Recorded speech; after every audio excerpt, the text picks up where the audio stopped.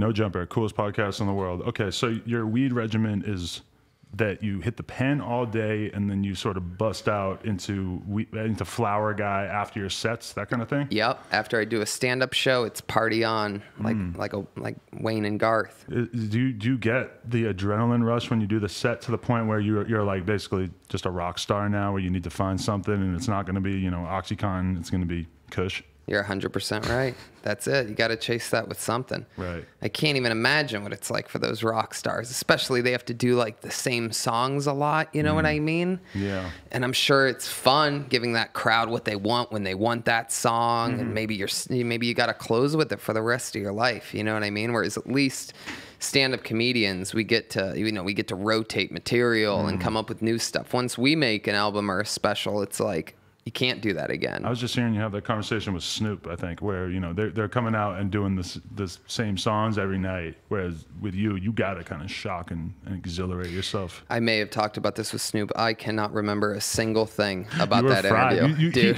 He, he asked you a question and you completely didn't know what question he asked you and just started talking about how high you were. Yeah, oh yeah, I was out of it, man. That guy, that that it's just unreal. I'm afraid to go back and watch that video. I Mm. literally don't remember anything other than like after it. It was like suffering a brain injury. Mm, I've turned down weed from all kinds of big rappers when I'm doing this because a lot of times it's like 11 in the morning and I just don't feel like facing a blunt and having the next couple hours of my day like irreputably damaged. Yeah. I mean, the age is just hitting me. I'm 35 now, and I already have to take a nap. If I have like any anything with beef in it or steak or already, Really? or if I have French fries for lunch, I already have to have a nap. See, I could eat steak every meal of the day, but one, if I really overload on carbs, I can feel the effect on my body for sure. Yeah. Yeah. Well, I still do it. I eat steak every day, and I still take a nap. I just woke up from a nap right now. I live right around the corner from oh, here. I was, I was, I was out like a light. I figured you'd be a valley boy. No, You like to stay close to the shit. heck yeah, right in it, man. Right in the mix, right around here. How about you? Are you over there? I'm like right over by the Grove, but Yep. actually we just bought a house in the valley, so we about to move. Nice, yeah. That's where you buy houses at. But yeah, I'm, mm. I'm, I'm right by you. Yeah. I, I bet we live super close to one another. Probably we could have a sleepover or some Heck shit. yeah, let's fucking do it. just dude. sleep on my couch. Let's have uh, those tin cans with like a string. So you'd be like, "Hey, Adam, what are you doing?" It's weird to think about when you're a kid that that's an actual exhilarating thing that you look forward to is literally just your friends sleeping on a sleeping bag on the floor in your room. Yeah. So much fun, man. Yeah. Those were the days. I was just telling someone about my friend Billy Poole. I realize I'm only realizing now at my ripe age how hilarious my childhood was. Like my I had a buddy named Billy Poole that would get in trouble for everything. Mm-hmm.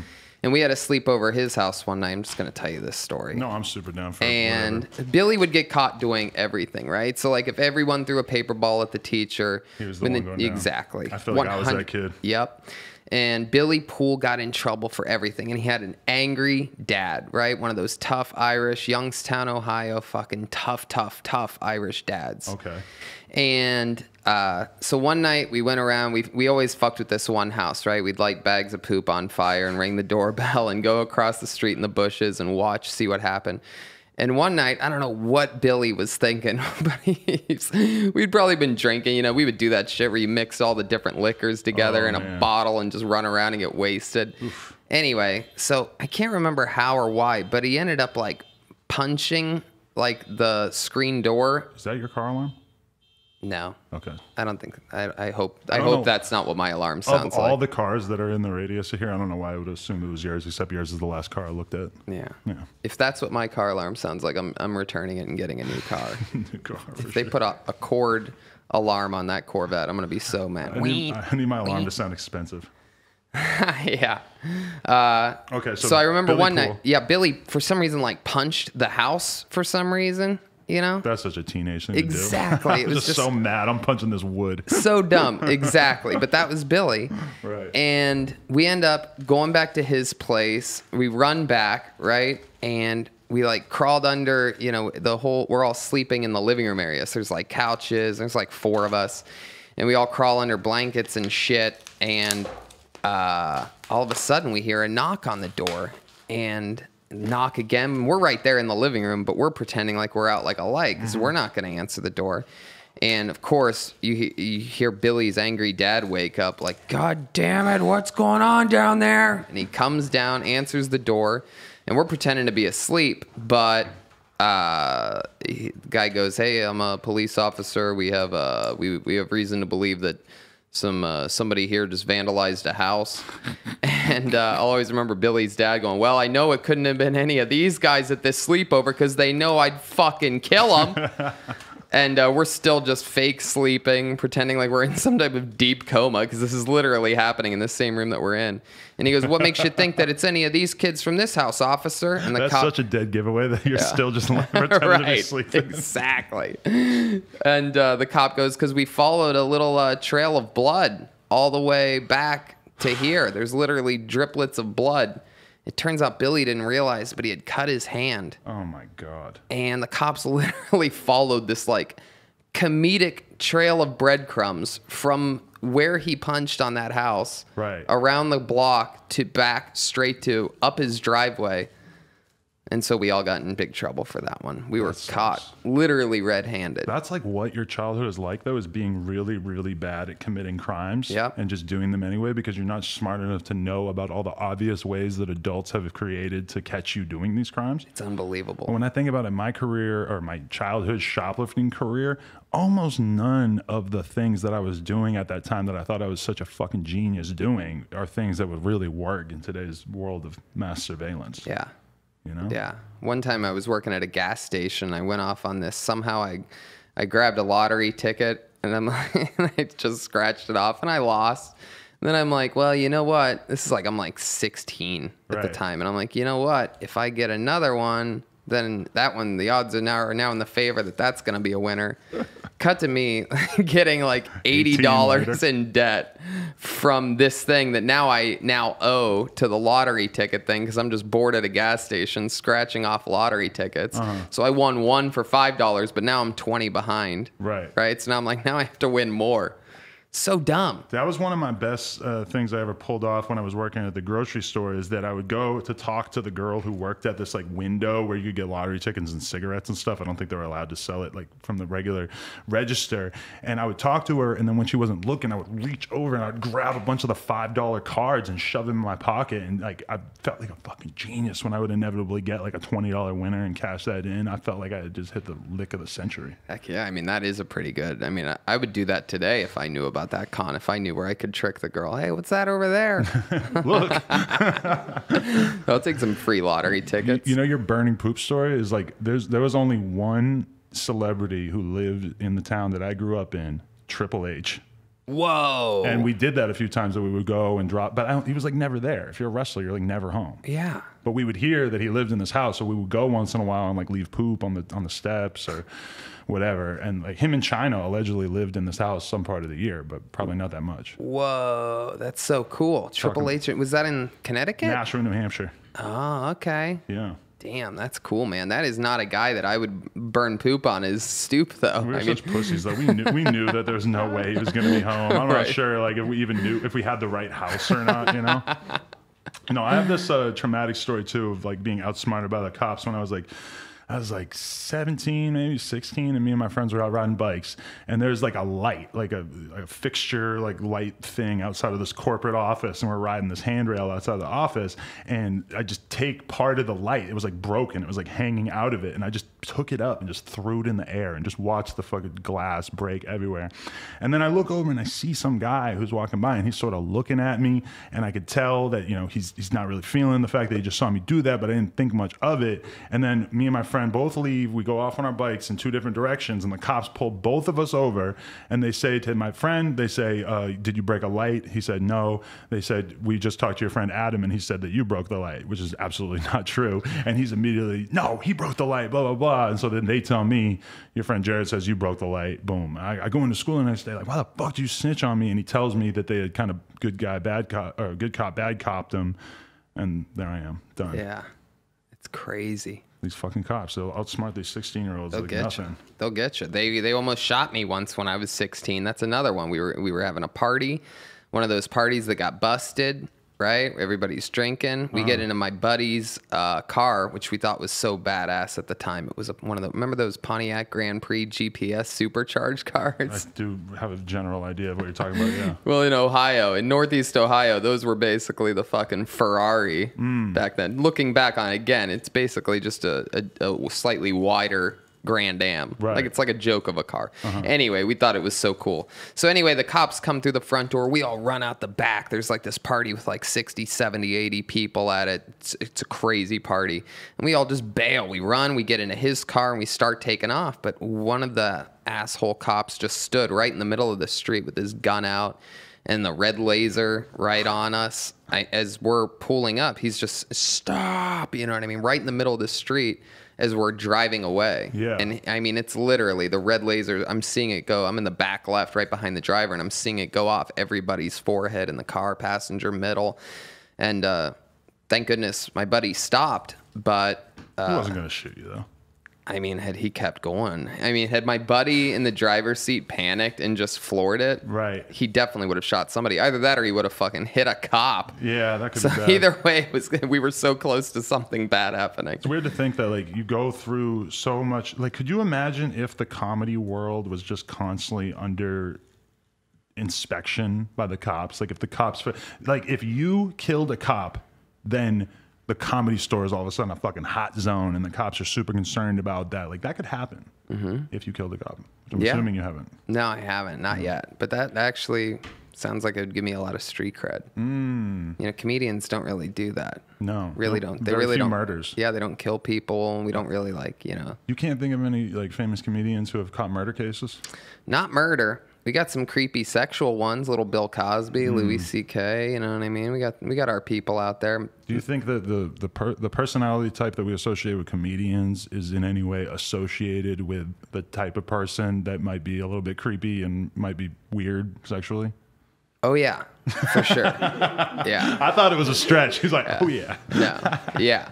Because you're chasing that thing. Exactly we were talking about earlier. Like it's like this extreme high that happens when you see someone laughing at something that you made them do. So I hmm. feel like everything sort of becomes more numb when you get used to that that dragon that you're chasing. Right, you're sort of being treated by a god, like a god by Yeah. a majority of the population or a lot of the people you interact with. Either way, Yep. And all the work that goes into it and everything, you're like, I did this. I controlled that situation and you know, I can do that. I can move a room of strangers hmm. with high expectations or you know. when you really sit down in front of a piece of paper, what goes through your head when you're trying to like write a joke? Because I, I think about that that com- comedian process a lot because you know anyone who does a podcast, they like a lot of my fans. If you were to ask them why they like me, they'd probably be like, "Oh, he's funny."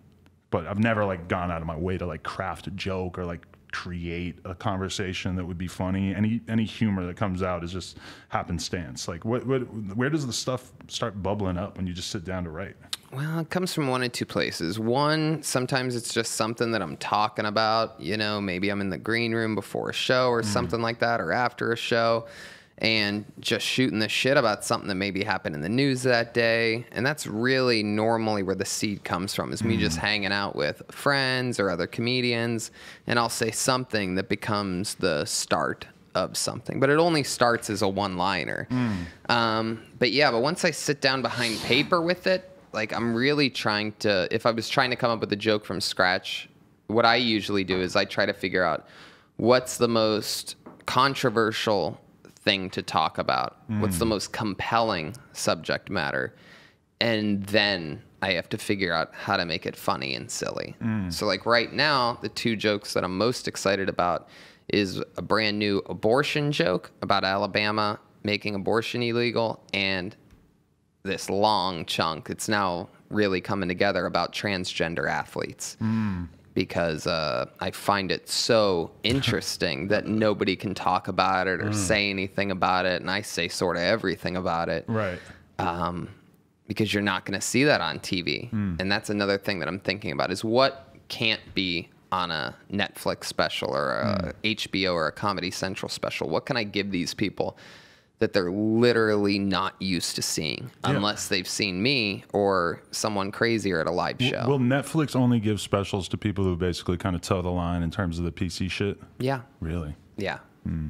I mean, unless it's someone so famous, like you know, there's this rumor coming out today that they're about to offer Eddie Murphy 70 million to come back to do one special. Wow. And you know, they'll probably let him maybe do whatever he wants. You know, they'll probably let Chappelle and these people, you know, but really, I've from what I understand, they they there's certain subjects that they don't want covered. Well, they don't want a, a white male in his 30s talking about trans politics because it's just going to read as bullying, as Right. alt right, every type of possible tag they could throw on. you, Yeah, one hundred percent. It's either all or nothing now, and hmm. and we're and you know we're the bad guy. I'm not gonna lie. I, I, like when I went on Kill Tony, as well as last night when I watched your most recent episode in what Plano. Mm-hmm. Yeah, both of those.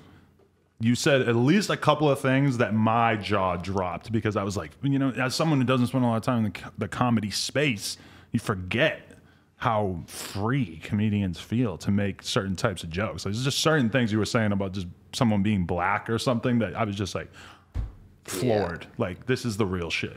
Yeah. Well, I mean, I'm comfortable in that zone, and uh, on Snoop's roast too. I heard you say a whole bunch of shit that I was like, oh my god, I can't believe that was on TV. I mean, that's a perfect example mm-hmm. of where my comfort really comes from. Is like it comes from being born and raised in an all black neighborhood. Mm. So at the end of the day, I know that no matter if anyone thinks that what I said might be, you know, racist or too controversial or this or that, I know the line of I tend to I tend to know what my black comedian friends would find hilarious. Not just funny, but if it's a racial joke, I wouldn't do it if I don't think I would make my, those friends laugh extremely hard. So it comes from comfort and experience, really. There's a weird position to be in because fuck, man, this shit is heavy. because I put myself in a similar category where I have a ton of black friends. And I feel, you know, pretty good at gauging what they're going to think is funny or what might be considered over the line in terms of jokes that sort of use race as a as a, a trope or whatever. But man, when that shit gets translated out to like the outside world viewing your content, is where all of a sudden your idea of how comfortable you could be really starts to get questioned. But have you really like ran into a lot of blowback from that? Nope. No. No, I don't. I don't. I don't get any of that. If if anything, if there's ever been anyone that says that anything that I'm saying was over the line, it was somebody that I made fun of directly. For example, like I once did a show at a at this uh, big casino in Connecticut, right? And I'd heard, you know, my buddy warned me. My, uh, my pal Joe Rogan literally said, you know, be careful if you ever perform in Connecticut because it's bad audiences, it's dull people. They don't really get it that The much. entire state of I Connecticut I seems like a vast generalization. I know, and and that's what I thought too. So a gig came, in, uh, an offer came around for Connecticut. I'm like, geez, this is a pretty good payday for you Little know old Tony. a cou- couple nights of work doing jokes on a stage. I'll take it. You know, I'm staying at a casino. How bad can it be? And there was sure enough there's this family that comes in and uh, you know you could tell they're all different shapes and sizes and ages and they're at this casino on their little connecticut vacation and that maybe a stand-up comedy show with an edgy comedian isn't exactly what they're in it for.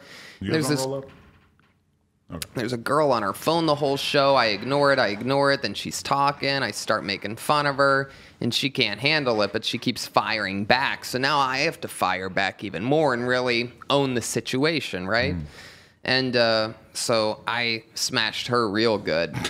and, you know, all of a sudden that's what everybody, you know, that becomes the highlight of the show hmm. is, you know, this girl trying to get me hmm. while I'm doing what I do. And I got her.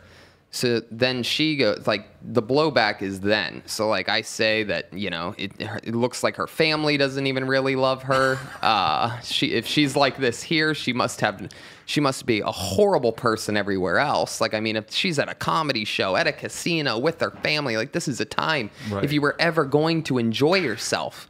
Like you would think it would be now. So I can't imagine how miserable your life must be. And I'm hitting her mostly with truths You know what I mean? True, like psychoanalysis from the actual situation. It's not like I'm saying you look like a, a turkey neck. You know what I mean? Whatever, right?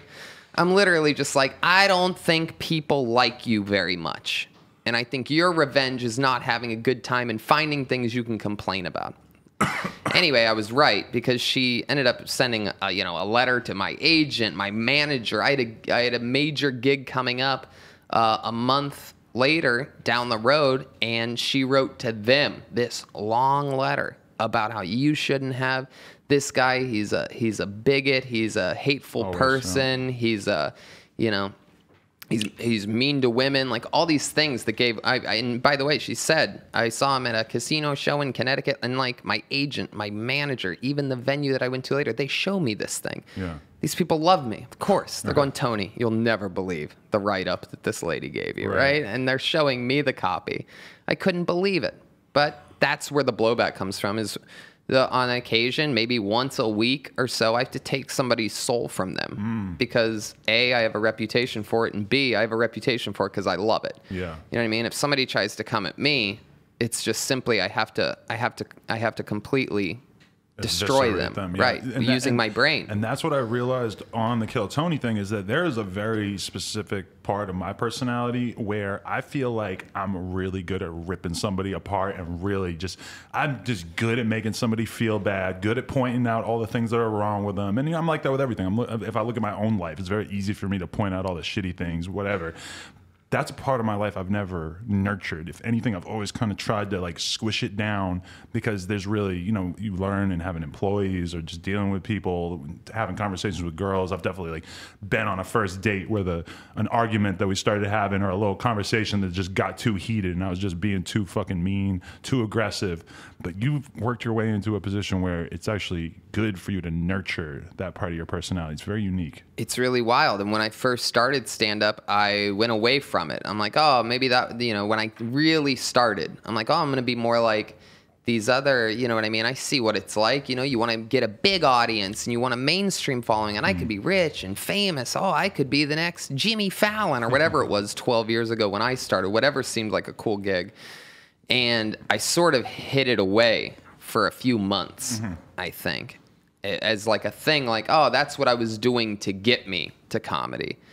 And then I sort of had like this Anakin Skywalker type of turn to where I'm like, oh, maybe I just am, hmm. you know, maybe I just am a darker guy. Hmm. Like I, I should use these things to my advantage. And sure enough, I did, and it all started. And it really, this all stems from me hating my teachers Really? back in school. They were too. so Hated mean to me. Oh. And I was mean to them. Granted, I loved making rooms laugh back then. Uh, and I, I became addicted to it. And they all told me, you know, it was just like, you're not going to be able to, you're never going to have a normal job. You're not, and being mean is never going to get you anywhere and all this stuff. And I really embraced that. And looking back on it, I think that's where a lot of this comes from is this like, this vendetta that I have for proving all those teachers wrong. Right. 'Cause Now I'm in the Writers Guild. Like that's cra- that would be that would boggle their minds Right. That's to know proof. that. Yeah, This, uh, this is not, you're not messing around. I'm a black belt. insurance paid for, Hmm. right? With with my frickin' writing of making fun of people, and uh, so yeah, Have I really did embrace that. Have you ever gone too far on Kill Tony to the point where you felt like the audience was turning on you? Um, I've gone too far on them. I'll go on them directly. They don't turn on me if I go too hard on somebody else. But sometimes I'll just that again, that's the that's the catch when you like using honesty as the weapon, right? Is like if I come out and I'm like, "What's up? You guys ready for another one?" and it's very mellow and I go, mm. "Come on, you could do better than that." And it's the same, then the next maybe hour and 45 minutes is fucked for mm. everybody. Right. Because like if they if they if if if if I basically if I get frustrated for them being too mellow mm. of an audience, really not they don't seem loud. You know what I mean? If they just aren't. I like that party vibe of it. If it's going to be a live show in front of a live audience, I, I want to really feel them. I see that with rappers all the time where if the crowd sucks and the rapper says that the crowd sucks, it almost never works out well for them. If they if they come at the crowd, like if they're the opener in particular and they're not really uh, they don't come with a lot of built-in respect, the uh, the audience won't won't give a shit. Like the openers at comedy clubs, you know, they're they're willing to give you a shot. That's one thing that's different. They're definitely willing to give you a shot. If you're an opener at a rap show, to to make them like you from scratch, because nobody fucking likes songs that they're hearing for the first time, Right. especially when they're not good songs that are really like catchy and just gonna work their way into your brain right away. For a rapper to go from zero to well liked as an opener is damn near impossible. Yeah. Yeah, it's it's hard it's it's hard to do that in comedy too, really. I think a lot of people make it look easy, but it's not necessarily easy at all hmm. because those people are either and it really depends on who they're there to see. Hmm. Like if it's a smarter comedian, that's great, you know. If it's for example like opening for Joe Rogan's great because it has this culture of you know, an educated type of like, you know, Right. a curious, smart, intelligent human, right? Is basically Joe his- loves you, so therefore the audience is probably gonna like you. Yeah. because they like Joe. right, and, they probably also have large percentage of them have seen you with Joe right, in general. and they have an open mind. You know what I mean? Really, it's like that's a big part. Um, but if they're there, you know, if they're there to see someone that they just know from like you know TV or something like that, then it's probably a little bit rougher of a crowd. But yeah, when someone says that the they don't like the show already, those people feel bad, especially even if they're the biggest fans. Mm. Like they feel bad. They're like, "Man, this show sucks. We're here in Buffalo and he just said Rochester was more fun last night." Yeah. That fucking hurts, mm. man. Cuz you know you you got the you know, you start picturing the people you don't like from Rochester that they had more fun with than you. You know what I mean? It's just all this Last night when I was watching you, it was such a different show than the one that I was on because you're in fucking Plano. So it's just all these regular ass people getting on stage and just doing horrible. And when when I was with you doing it, there was like a bunch of people who were horrible, but there was a bunch of people who clearly were like out to be comedians at the very least, even if they weren't great, they were like acceptable. They were trying. And that was just such a different experience. you were just roasting these people alive because they, they're just coming out and telling jokes that don't even sound like jokes. It's a weird feeling to just be left hanging at the end. Like, that was the punchline. those ones on the road are so much fun. Yeah. I mean, that's what I can't believe that that's been able to be executed so perfectly because those episodes are, to me, a lot more interesting than the ones at home field. You know, the ones in LA, the people already made it to LA. Hmm. They, they either just moved here or even if they're just visiting, it's like they had the. They were able to save enough money to be able to get on a flight, to get there and be there. And you know what I mean? It already takes a certain amount of, uh, you know, life to be able to get to there. Right. But to get to Plano, if you live 10 minutes down the street and you listen to the podcast and you don't even have a car, you know what I mean, or whatever, these it's so interesting A lot of people see. clearly never even listen to the podcast either. Yeah, there's a there's always a couple who are just like, "What is this? I'll do it, dude." Yeah, yeah. There's a Stoned to the gullets. There's a girl, I forget what the what was that word that she used that a guy came up to her and said she was bolted. She goes, a guy came up to me and told me that I was bolted, like as in like a way of saying she was hot. And she that was her whole joke was just like, look at this this weird word that a dude called me. It's like that's not a joke. wow, I don't even remember that. God. Just- I only remember because I called him into the room like, listen to this joke. Yeah, I've never heard that. you were there and you didn't even really hear it. Did you see the guy that got pulled out in that show in the, from the front row that uh, was, is a is a kung fu uh, master? Oh, and he started telling you about it. Yeah. There's a little like there's a little like dorky guy that was being silly in the very front row the whole time. Uh-huh. So, I mean, this little literally, I made a joke about how it's like where's Waldo's grandson or whatever. Just this little dorky, big, thick rimmed glasses guy, uh, and he got pulled out organically. You know, that's another fun thing is the op- uh, the range of opportunity on that show is so crazy. It Yeah. really is a bucket of destiny. So I pull his name out after I'd already been giggling about him, which I, again I very rarely do. But this guy had so much charisma that I acknowledge him, and I pull him out. He does a set. It's his first set ever. Went pretty decent, but. uh but then we start talking, and it turns out that this fucking guy can do anything. This little like dweeb is like super Bruce Lee. Goes to the World Invitational. I had him. He did the bottle cap challenge live on this show. Got it. He kicked a hat off of Jeremiah's head. Whoa. Jeremiah was this. Okay. Yeah, it was at the end. Jeremiah was playing George W. Bush. Oh yeah, yeah. That was hilarious. Oh, I mean, it was just so fun. Mm. So like the stuff, there's always a contrast when the when things go weird on that show. It usually means there's an opposite about to happen right around the How, corner. how big of a factor was bringing like Jeremiah and Redban? Like, did you try doing it with just you or with a smaller cast? Or you always knew that you needed like extra jokes coming in? It's always been both Redban and I. Uh, no matter what, we started bringing Jeremiah just a couple, couple few years ago, Uh-huh. uh, here and there, and then it just got bigger and bigger, and, and now we have Joel with us most of the time. You know, in a whole drum set. He's sponsored by Ludwig from being part of a comedy Wow. band, which is that. insane. His name on that client list just brings so much joy to my heart. He's right there with like I don't know all the best drummers. Right. None So of which we can name. The guy with one arm from Def Leppard. For sure. That's pretty much it. Yeah. No, Travis Barker. Yep. He's one of the guys. Man, It's hard to be a famous drummer. it really is.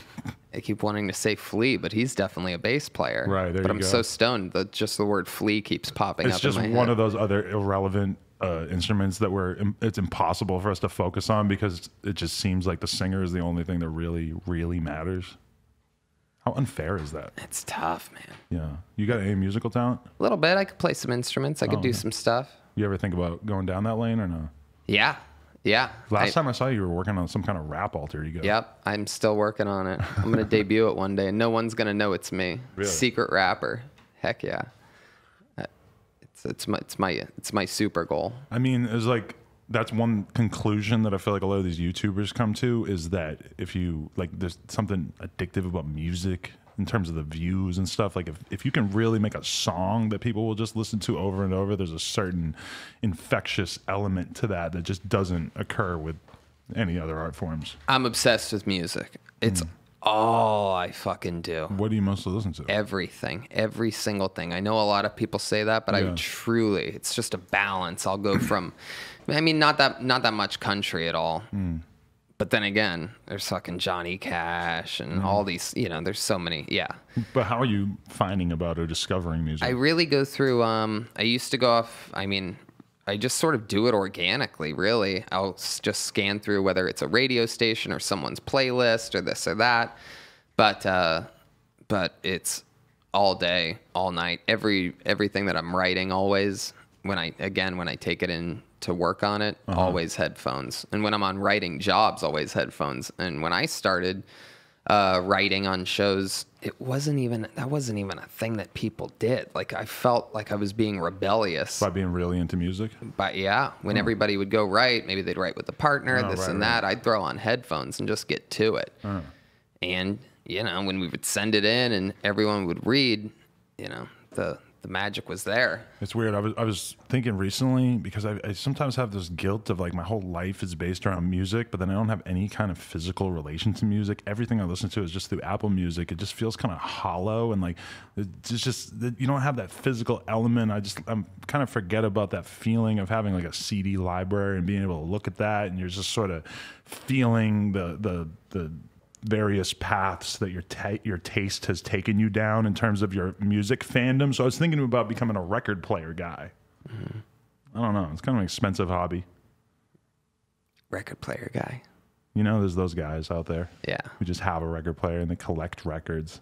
Yeah, I can't do that. You're not gonna do that. You know what inspired me though? You know what made me want to start doing uh start to start actually putting together uh goofing around writing raps was uh, that bad bad is it bad baby? Bad baby. Bad babies. One of the biggest interviews I ever done. Really? Had her on a couple times. Was yeah. she fun? She's definitely fun. There's so many memes that came out of that. It was incredible, honestly. Wow. Because she would just come on here. She's been associated with all these rappers or whatever that she either has dated or had beef with or whatever. And she just comes on here and just, she doesn't have a button to turn it off in terms of just talking shit.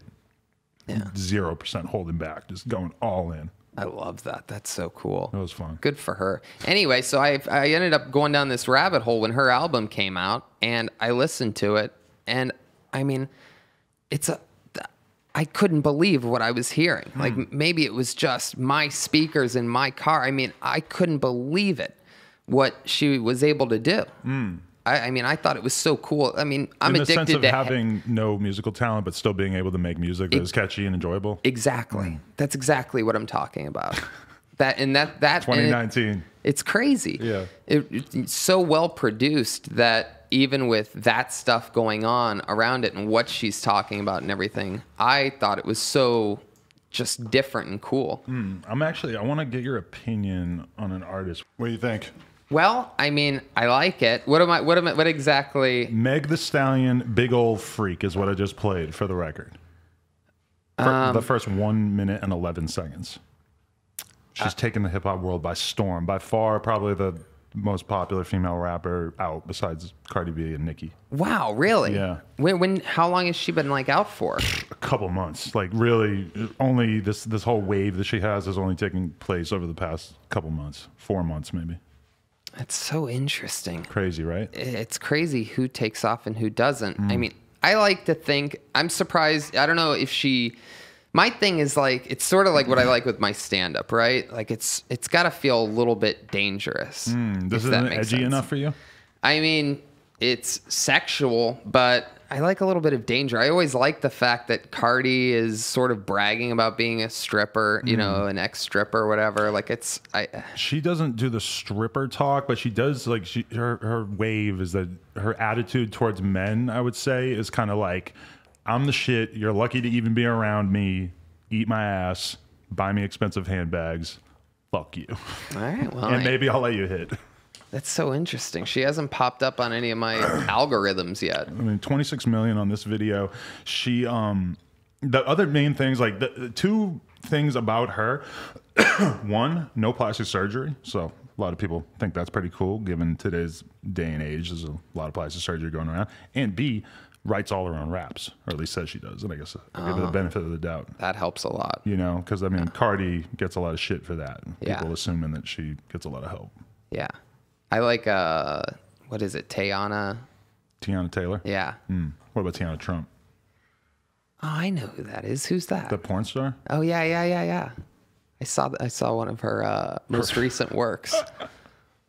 She came on here and exposed all these like basketball players for fucking her when she was 16 and shit. Oh my god. Not by name, but she like gave weird identifying characteristics so people were kind of able to guess. Number 34 for your Right. Houston Rockets. I mean, and that's actually how she threw some people off the the, the scent because she uh she didn't. She, she said that like one dude was like top five earners in the NBA and it wasn't actually true. He's like close, but he's not actually there. Yeah. So it gave people a lot of information to work with. Yeah. We know the real culprits, but well, yeah. I'll take it to the grave. My goodness. NBA players. What a fun life that is, huh? I guess hanging out with her. She, her new thing, she was going viral. She was trending yesterday because she is claiming that she's just going to do a tour of the college circuit, just fucking college students, I believe. Wow. Some kind of tour, huh? Wow, that's a tour. We had a we had an actual prostitute get pulled out of the bucket on uh on Kill Tony on And Monday. she was honest about it. It was her opener. It was her closer. She talked about it the whole time. Holy shit. I interviewed the hell out of her. Wow. So interesting, man. I got to see that. Yeah. Which ep- which episode was that? This is the most recent one. It was uh, Ian Edwards was the guest. Okay. So, Any uh, interesting revelations for you? I mean, yeah, I asked her. I asked her what the most amount of guys she had ever been with in a day. Uh-huh. She said five. And she said that three, only three of them were work things. That she like had to hook up with two guys in between just to like cleanse her palate from hooking up with nasty dudes. Sometimes she needed to be like reminded that she's loved and like beautiful or whatever by someone that's just fucking her without paying her. wow. So it's almost like the ginger in between sushi bites, like bad sushi, like, oh, I don't like that, Right. and then try another one. That's how I feel when I have to listen to like five million shitty songs that have been submitted in a row, and it's like I gotta just go listen to some fucking stuff I'm genuinely into. They made a sign that said car keys to us them front my car keys. You could just say it. That's a good idea, though. I appreciate the thought.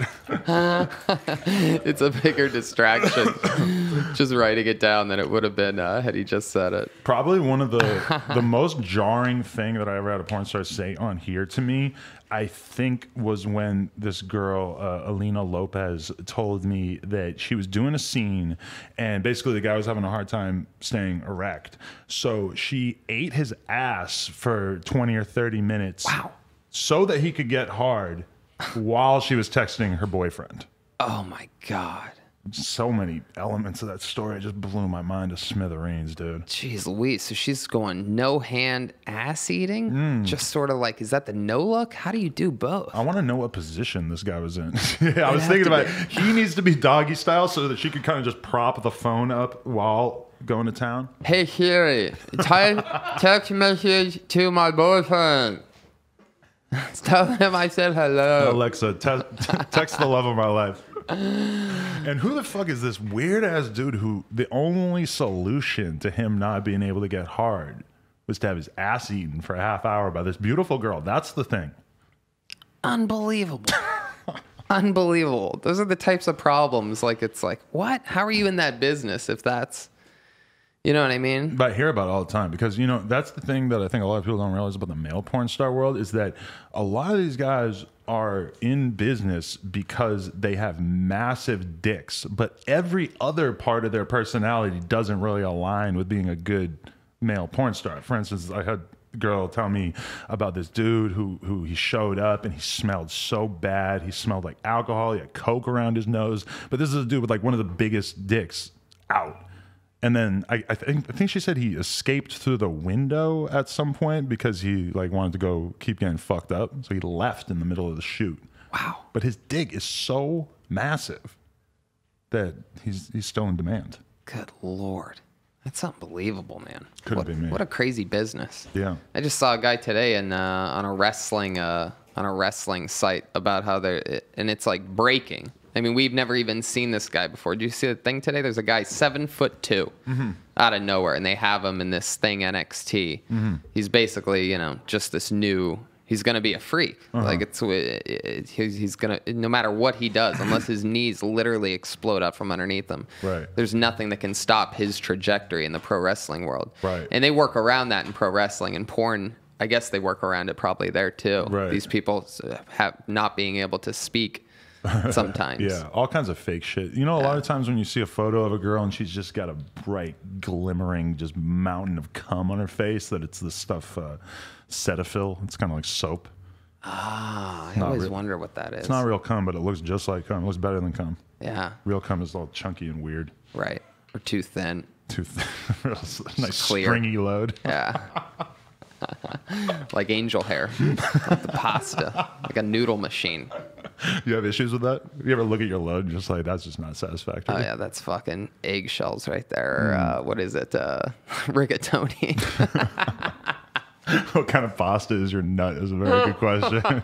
um, no, that was actually, you know, like you read a million negative comments about yourself and it doesn't really do too much to your self esteem at a certain point, but then you'll read one comment that just fucking digs into your soul. Somebody got at me on uh, the Kill Tony comment section, I remember, and just said, like, Adam 22 sucked.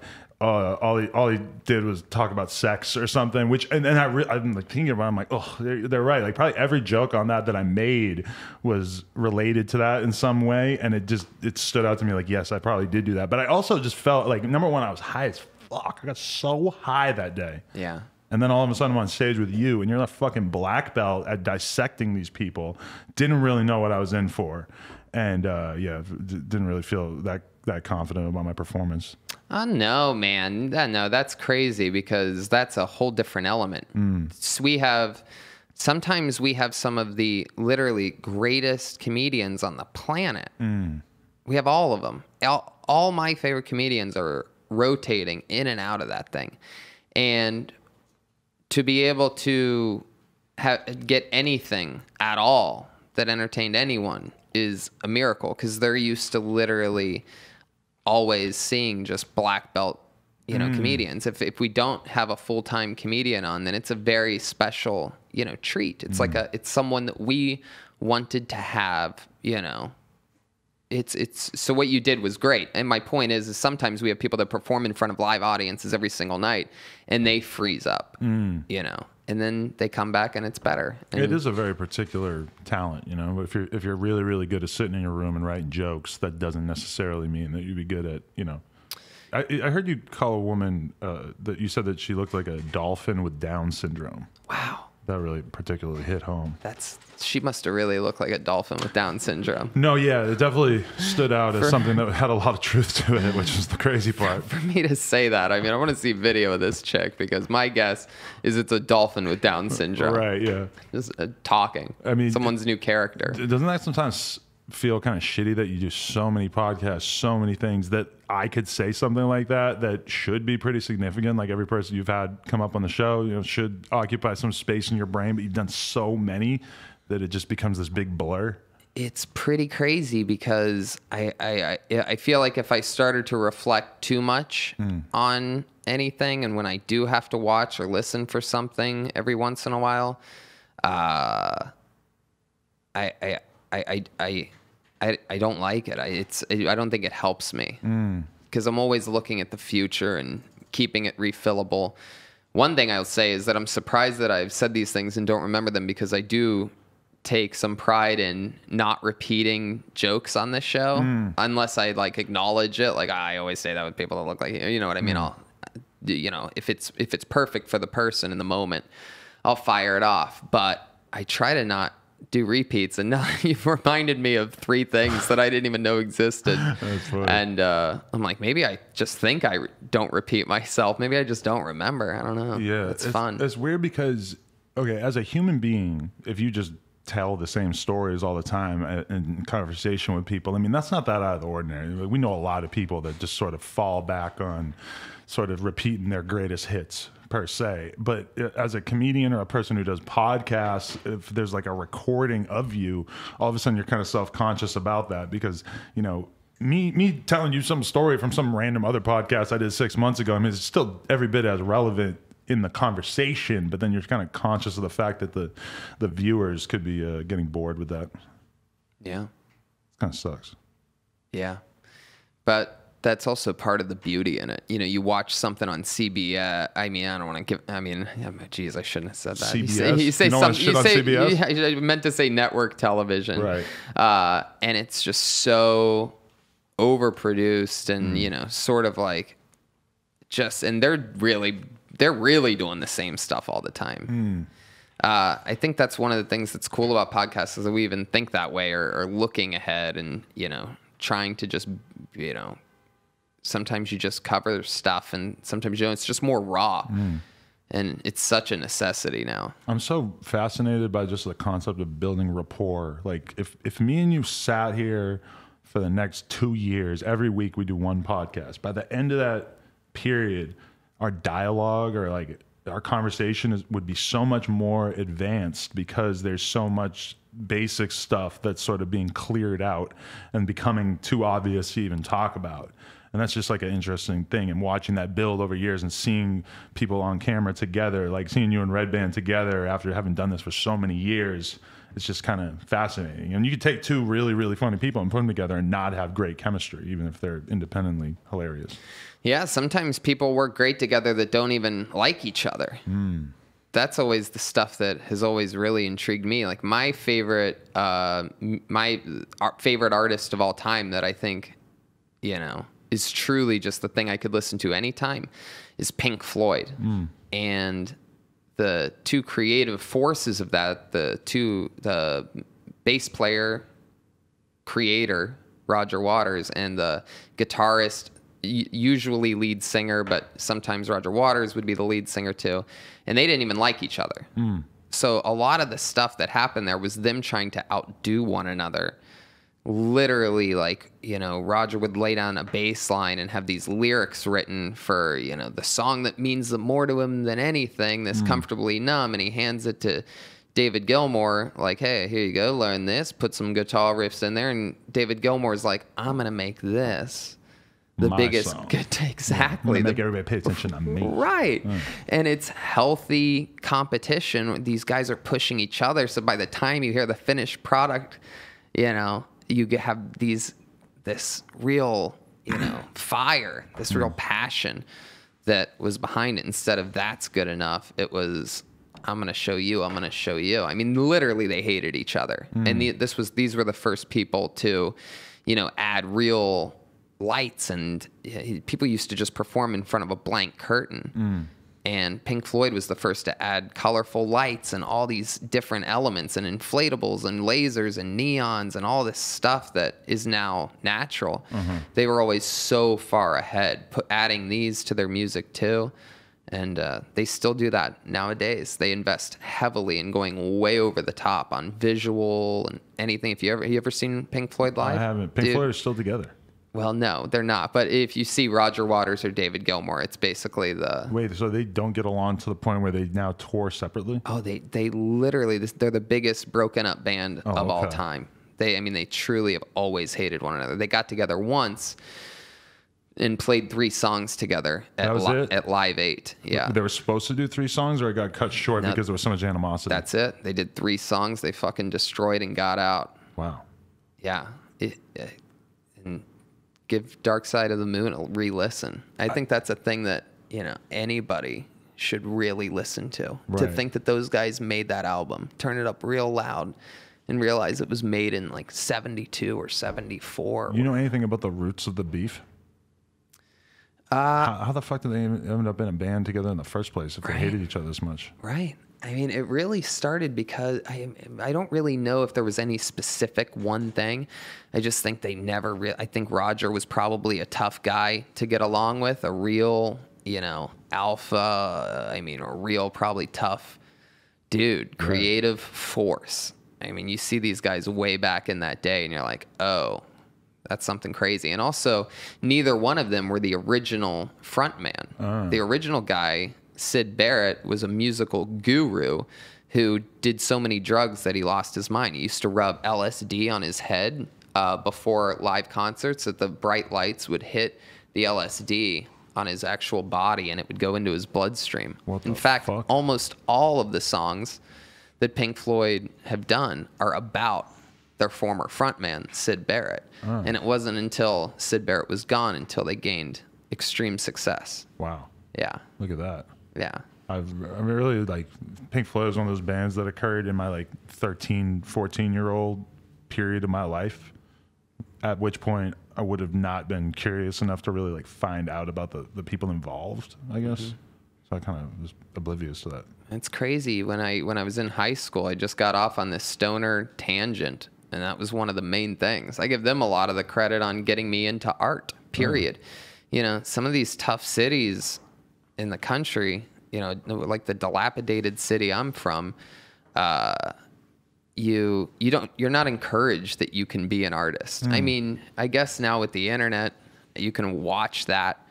But at least when I was growing up, like no one was saying you can do Right. whatever you want. It's like you got to get ready for college and get and become an engineer or something. You know, when I was uh, growing up, Youngstown was kind of like a mecca to me because I was in the BMX world, and that was where some of the biggest skate parks were, and the scene there was huge. A lot of like super legendary BMX riders from Youngstown, Ohio. Wow, I didn't even know that. Yeah, weird, right? I bet Yeah. you never thought that you would hear me recognize it or give a shit about it in any way, right? No, yeah.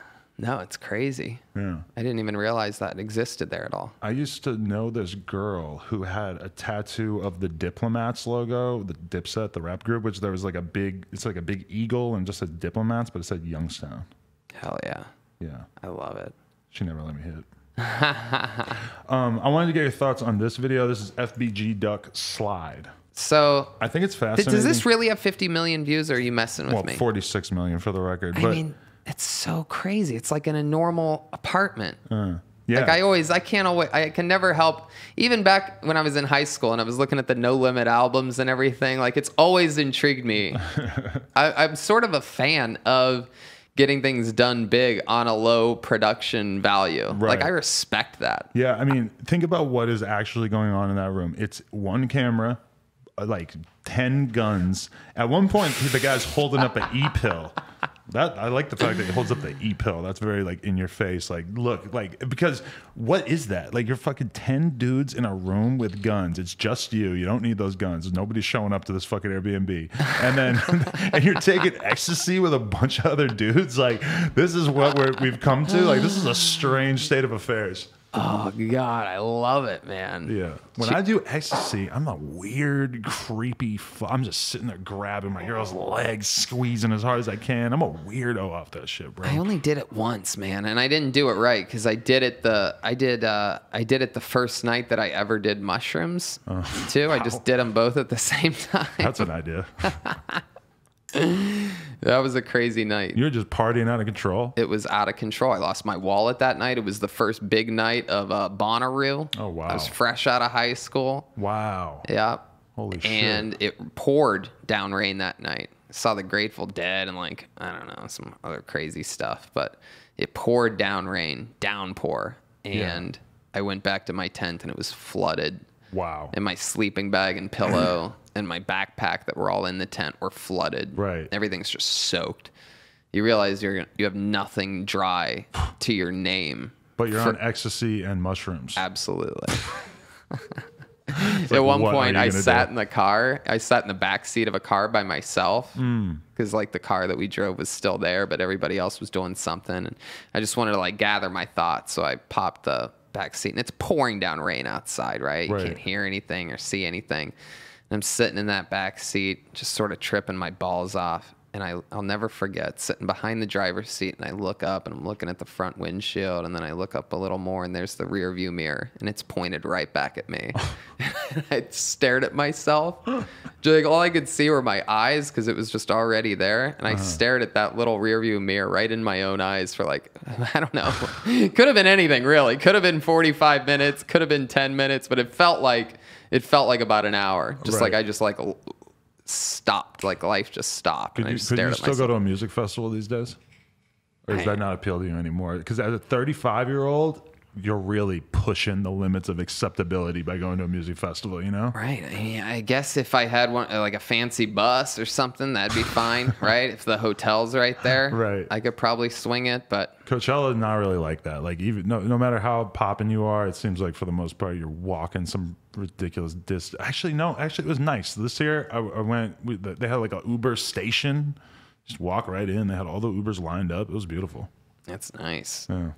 I haven't made it to Coachella yet. I'm always working when those things are happening. Hmm. I got to be more strategic about it. I mean, it's weird to a lot of people think of it as just a time for them to go and just do an absurd amount of drugs. And that is the part that doesn't really appeal to me anymore. And now when I go to music festivals, I'm usually either interviewing people and filming or I'm just like I went to Coachella. I didn't really give a shit. I just went because my girl was going and I figured I had to.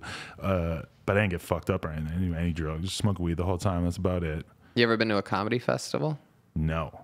You should go to Skankfest next year in New York City. Skank Fest? Yeah. There's like a bunch of ska bands play in between? No. No, no, it's cool. It's like this. Uh, it's just a. It's just an all-out fucking, you know, multiple shows going on at once in one big giant venue. Right. And monster comedians. Really? Yeah. I don't know. Like, what what is that that vibe or that environment like? I feel like such a fish out of water there as somebody whose like comedy knowledge is relatively limited.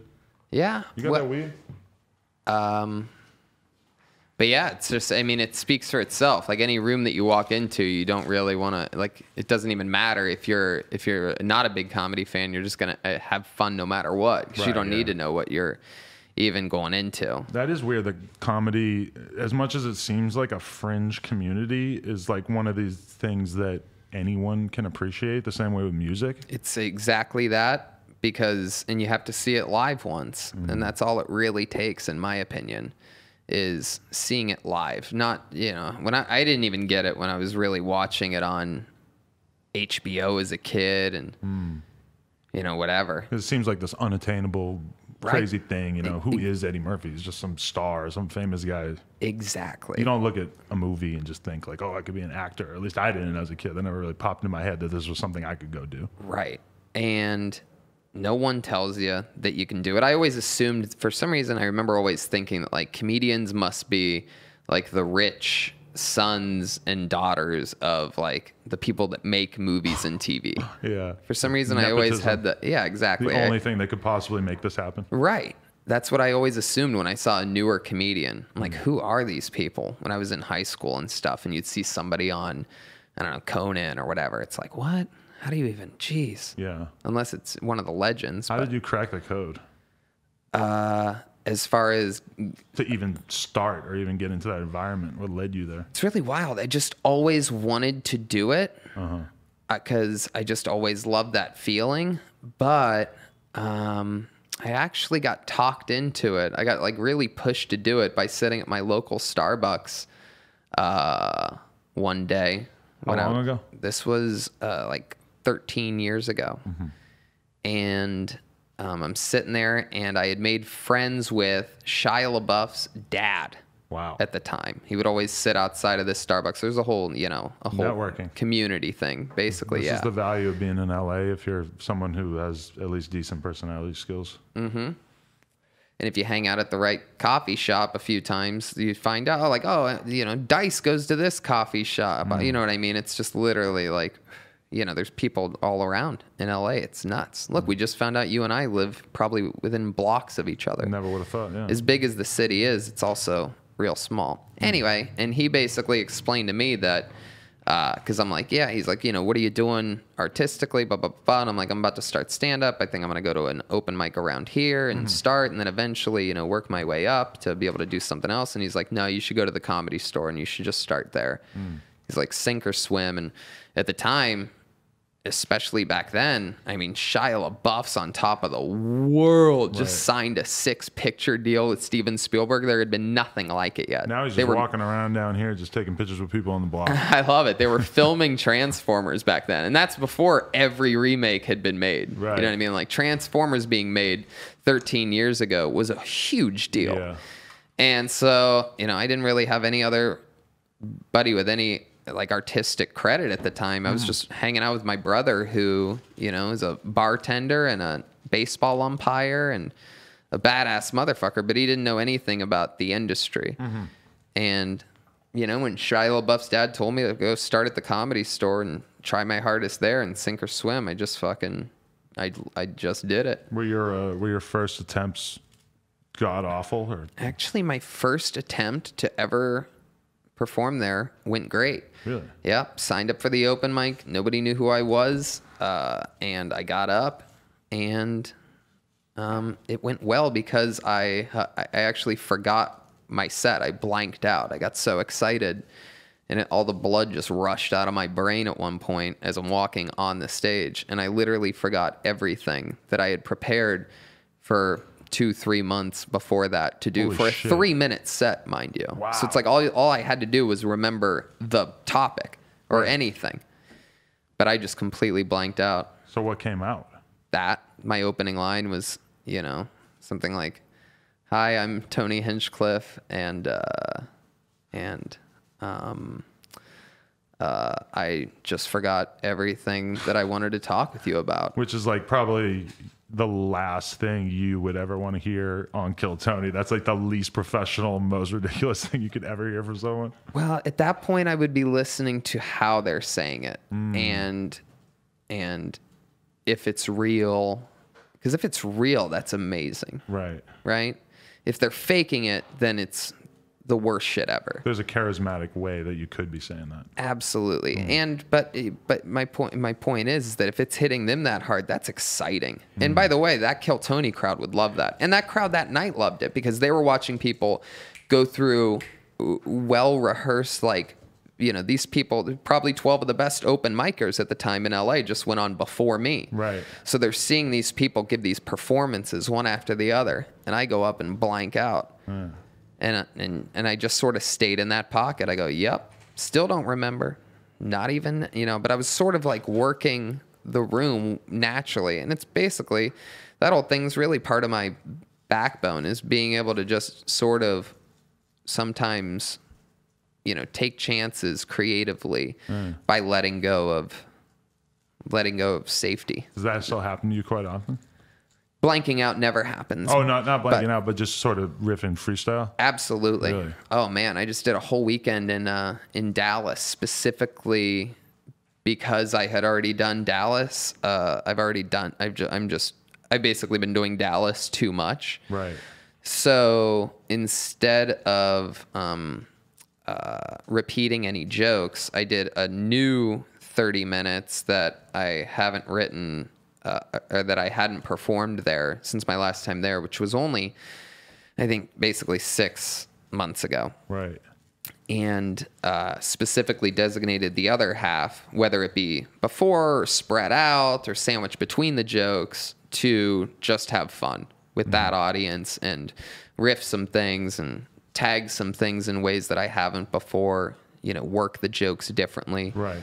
And Texas it up a little bit because it's you know mm. a lot of fun down there. Right. Those people know how to enjoy. It's unbelievable what places fucking love art and respect art and some places that don't. And you can sort of go on, go in on their local culture a little They bit. love it, man. Although we- they were like when some of the Bush jokes uh, that uh, what's his, Jeremiah was doing, the crowd definitely wasn't feeling it in Plano. There, you could hear some boos in the background. Oh, I don't know. that was funny as hell. I mean, it's just so that's that's exactly why Jeremiah is so great. Is because he just hits it right head on, Yeah. stays in that pocket, doesn't show any fear or reaction. Uh-huh. They love that. His George W. Bush. I forgot how fucking funny George W. Bush was, man.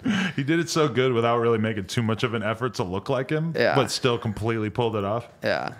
I was wondering. forgot. I don't know if you heard the part where i he was.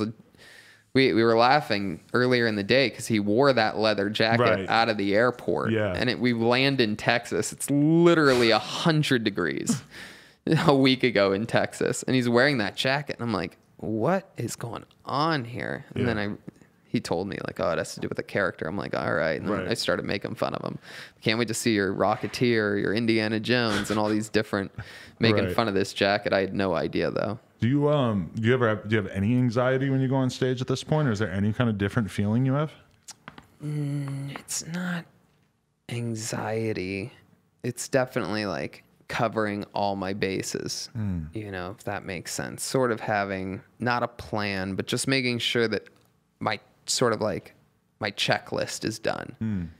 You know, just making sure that my zippers up and that my belts fasten and my fucking, you know what I mean? Just all the basic shit.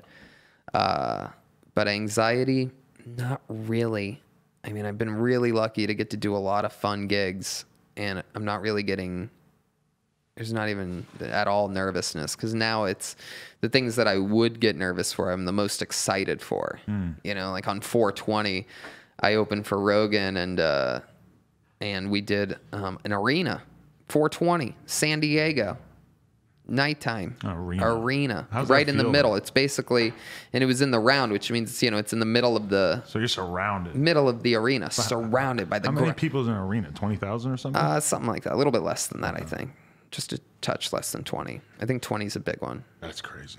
Um, and yeah, and, and I'm moving around and looking at everybody and taking my time and all that. And it's like that's something that you would think I would get nervous for is doing 20 minutes in an arena by yourself, just plugged into a microphone.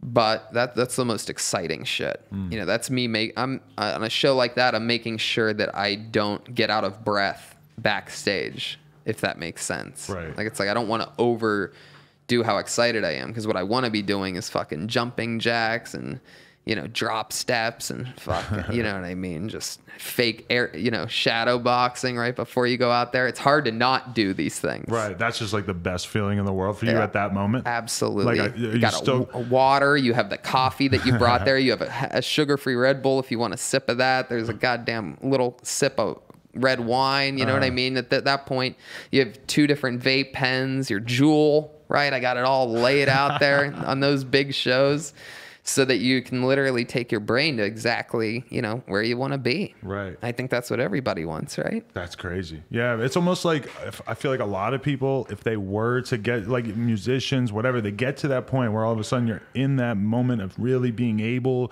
to just do your thing in front of all these people, and it's it's like they've finally accomplished what they've always wanted, and having what you've always wanted is so overwhelming and intimidating that they find some way to fuck it up by either becoming totally ungrateful and just not fucking caring anymore or getting so into uh, drugs or whatever that they just somehow lose track of it or the music starts to suck and they can't draw those crowds anymore. It feels like a lot of people just have some some kind of self-destructive urge comes out of that. Well, I feel like, and a crazy part is, is that I always thought that those people that are like that are the ones that what they come from nothing and this and that, right? But the more that I've been paying attention to things lately, and again, I'm thinking also about my own story too, is like there has to be a correlation to me struggling out here for a long time. You know, I slept in my in the back seat of my car for a few months.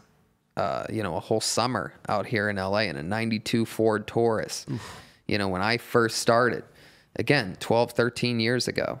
And um, you know, there's something about going through that grind, not getting things too fast, having a real appreciation that I think really helps. It helps. What I, because here's here's the adverse to that, right? Is like I think that if I was born in a great situation, had a big house with all the toys that I wanted, and two parents that really loved each other, and all this shit, and then I got thrown into this, and I got something too quick. Like I I don't see, I I could see how those people end up really messing things up. Mm. I think anybody who gets anything too quick could really mess things up. There's something too, especially maybe it's especially in stand-up comedy too. Like, I mean, there's a thing in this business where you don't really make it until you've gone through a lot. Mm. Bill Burr, you know, popped late. Louis C.K. popped late. Uh, At least, you know, in this YouTube age, you know what I mean? It's sort of a different thing. You can get it really fast now, huh? Well, I mean, I guess, eh, but in the it's still in the real comedy world, it's different. You know, real com- it, comparing YouTube and real stand up, you know, it's it's a different thing. But my point is, is sort of like, you know, those paying dues really help. It helps every day after that. Do you have any kind of disdain towards like a lot of the uh, Instagram comedy or the YouTube comedy stuff that that is kind of passed off uh, that does well, that does numbers, but from mean, the perspective of a real comedian, it's just trash. Yeah, pretty much. I mean, not trash, trash, but you know, it's one of those things to where sort of almost everything has already come out of a comedian's mouth at some point. Right. You know, so I, I just I haven't. I, maybe it's just me. I don't watch a, a ton of YouTube. I don't watch a, a ton of content. Period. But I haven't. uh, You know, like I follow like World Star, and I think they're comedy. You know, I A lot of I- times they'll repost stuff that's like Right. comedy, right. and it's so stupid. Right. And the thing I love that they're doing now is just like basically the videos with all the freaks. Like I just love that shit. Yeah, long neck. We had Yeah. we had long neck and wide neck on here. wide neck is a fucking gangster, bro. Really? Oh my What'd you guys do? Anything fun? We just talked, but I mean, the, the funniest part about interviewing long uh, wide neck to me was that I was asking, you know, did you get joked on? Did people bully you or make fun of you because of your fucking wide ass neck during your childhood and stuff? And his response to that was very much like, nah, Right. ain't, ain't nobody fucking with me. Nobody, no, nobody gonna say shit to me because I know I'm gonna fuck them up. Mm-hmm. That kind of thing. And it was like, it was like he had never heard it before because he was just so, you know, he really grew up in like fucking rough ass part of uh, Pensacola, Florida, I guess, and has all kinds of charges for drug. Did you ask him how his neck got like that? Like, is there a workout he does? Is there a way he sleeps? Does he sleep like in the bridge position, just holding him? I'm not sure he's owned it like enough to. I don't think he's working on developing his his neck at all. But I I do think that like because that's that's one of his quotes. He was like, "It ain't no deformity." he actually said that. Ain't no deformity. Man, there must be something he does he's not telling us about. Hey, I want to show you this fucking girl that I uh, recently became Instagram friends with, just because she saw me on my stream, watching her or like looking at her Instagram, and um, she actually liked it enough that she followed me, and now we're great friends. But Get the fuck out of here. this is I'm gonna. All right, you're fucking with me. No, this is a real thing.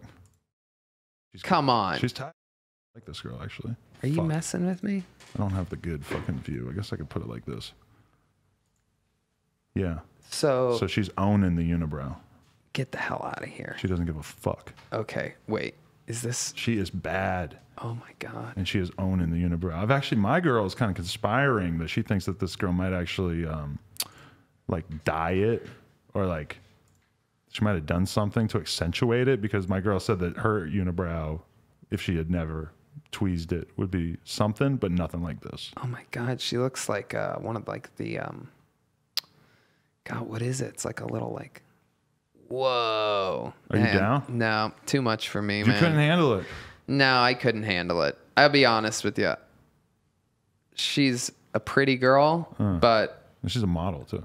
I'm Yeah. not sure for who, but it says she's uh, signed to some my guess is she's an models. my guess is she's an eyebrow model. I don't know. I don't know how you take a girl like that out to dinner and uh, be surprised when everybody's staring at your girl's Hmm. eyebrow. It would be fun to be her boyfriend because everywhere you go, you know that you're basically just like gearing up for a fight. But it'd be, it'd be so annoying. You have to answer the same fucking question all the time. Can you imagine how big her bush must be? She must be owning that too, I would assume. Imagine you get down there and she's got some manicured little landing strip. I'd be so bummed. This is so off brand. Yeah, no way. She's a, that fucking thing is chaos down there. Yeah. She's got a whole nother eyebrow right mm. above right above her butthole. It must be. It must be out of control. It's got a butt brow. Yeah. But so you couldn't do it. Okay. Nah, it's too much for me. I don't know. She'll I might I might wake her up one morning just whacks. Good morning. New life starts today. Once you saw it, you probably couldn't unsee it. Like once you saw her without that, you'd probably never be able to be like, oh yeah, just just keep growing that out. Man, I don't know. I don't know. How, what would you do with that? Would you kiss it? Would you start your first night with her? Would you give her one? Mm. Is that how you would At start night, it? I would just rub it like a caterpillar, the, the length of her face. oh man. Why not? Wow. You never dated a girl with any kind of deformity Deformity? or uh, any, any special characteristic like that. I'm not sure what category to put it in. Ah, special characteristic. Because if you don't, I'm gonna hit you with something. No, hit me with it. Okay, when I was 13, my first like real girlfriend uh, was missing fingers on one of her hands. I'm not sure. I think it was a birth defect, but like a bunch of her fingers were basically like one knuckle or like two knuckles, and um, she was so good at hiding it. She'd always be jamming it in her pocket or sort of like twisting it up in her shirt or something. She was obviously super self conscious about it, but to the point where some people in school that hadn't like known her since her childhood didn't even really know about it because she did such a good job hiding it. But yeah, I dated her for a period of time, and she's actually my first uh, hand job with the the other hand. The other hand, Yeah. she didn't use the fun one. No, no, She didn't give you the old penguin hand job. No, there was a lot of things that she could have pulled off if you really think about it. Like she could have jammed one of those little one knuckle things Heck in yeah. your urethra. And She's got of- a natural shocker on her right hand, ready to go, dude. we didn't know about uh, the, the male G spot at that time. Otherwise, you could have, you know, sort of like eased your way. If she has all different finger lengths, then she could sort of ease her way into getting a finger in your ass. Absolutely. Yeah. Probably very easily. Hmm. Probably invited. I heard that she became some kind of crazy kleptomaniac because my friend told me that he was at some college party where everybody had to take her, their shoes off and that somehow he, he had figured out that she stole his shoes. Whoa. Yeah. Damn, that's weird.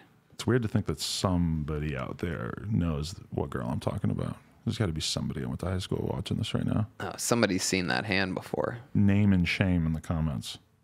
I wonder how she's doing. Hmm. Um, so you're doing you're doing some sets tonight? Yeah, at the comedy store tonight. Fun times tomorrow. Yeah. Yeah. You ever been to the comedy store in London? Yep. I was I was- standing outside of it the other day. Yeah, I was just in it a few months ago. I didn't perform there, but uh, but it's a cool joint. That's just a few blocks away from the Soho Theater that does really fun shows. That's where I performed at. I saw the Book of Mormon across the street. Oh hell yeah! Yeah. That's that's that's oh, that's another thing. That's I had never seen it. I didn't even know about it. Now now I feel stupid because I didn't know about it. Everybody seems how like they know about it. how much did you love that? It was incredible. It's yeah, that's another thing. Like that's I'll put that up there with Dark Side of the Moon. Like Mm. that's something people, in my opinion, there's a few things out there that people need to absorb right. art wise. Right. I think Book of Mormon's one of them. I wonder what that would be like if it came out today because it came out so long ago that it feels like the standards for what's considered offensive would have been so different at that time. And a lot of the shit with the fucking African people dancing around and whatever. I don't know if that could be put into action today. And it's interesting that it's still happening, but I think I think I think it would, and I think it could. I think it there's a beautiful science to making something undeniable. Hmm. I think that's what that is. Right. I think that for as many things that make fun of that that's what that piece of art really is. They're making fun of absolutely everybody. Hmm. It's under the disguise of Book of Mormon, so you think they're gonna, you know, make fun of the African Mormons. people definitely are, are more with it. Even though they're like being accused of having AIDS and all this shit on in the play, it's very much like they're the ones who kind of get it, and these Mormon ones are the delusional ones. Oh yeah. Yeah. Absolutely. It's beautiful like that. It just makes sense. Not only did those guys not get in trouble for that, they won Tony Awards. We're talking about the South Park guys. Right. Uh, about a group of guys that if if Broadway, you know, didn't want to you know what I mean? Why would they I googled It's it. crazy what happened there. I was trying to find um, examples. Like I, I googled like Book of Mormon controversy, and I could only find Mormons offended by it. I didn't see any black people offended by it. and by, by the way, they weren't that offended. Like that must have been offset groups because Hmm. the actual Mormons bought programs in the thing. Like they rolled with it. Really? They rolled with it really good. I think they looked at it like great publicity Hmm. for them. Actually, Yeah, actually, it didn't really do much to point out the absurdity of being Mormon so much as the absurdity of like these particular guys and the overall idea of going to other countries to try to convert them to your religion. yeah, Yeah, so good they could have gone a lot harder on the Mormon people. for sure. Yeah, I mean that's just uh, religion. That's so crazy to me. It's unbelievable. I- I went to a uh, I went to a Catholic school growing up. How about you? No, Nashua High and Pennichuck Junior High. Yeah, going to a Catholic school messes you up, man. Really, Yeah, it changes your view on religion completely. you didn't get diddled, but you just saw a lot of fuck fuck shit. Yeah, it just makes you anti-religion because, like I said earlier, all my teachers were mean. They were all just evil haters, like bad, mean people. Not every single one of them, like ninety-four percent of them. Okay. And so they're trying to push this while doing that at the same time. It's just like, oh, this is, I can see.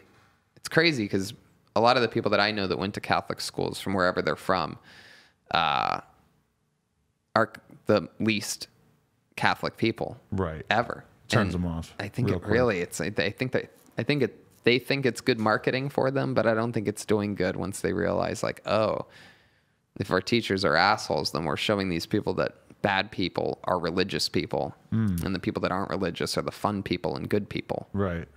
I grew up hating religion and Christianity so much, but to be honest, like the role of religion in the average American's life at this point, it feels like it's such an insignificant concern. And uh, like even when if you think about when like the uh, all the big atheist artists start, or uh, authors started to emerge, like Sam Harris and Jordan Peterson, or not Jordan Peterson, uh, fucking Richard Dawkins, all this shit, when they were putting all all their atheist books and stuff it almost feels like that time period, that sort of like revelation of the new atheists is like unnecessary in these times. Like it just doesn't really feel like anyone needs to fucking hear that message anymore. Yeah, I think people saying that they're atheist is giving too much credit to all the other religions. Mm. Like it's like you're just saying that you're something that isn't religious. Just Right. don't say anything at The, all. the weird part True. is just that that could be considered the default, is that you should believe in this fucking weird book.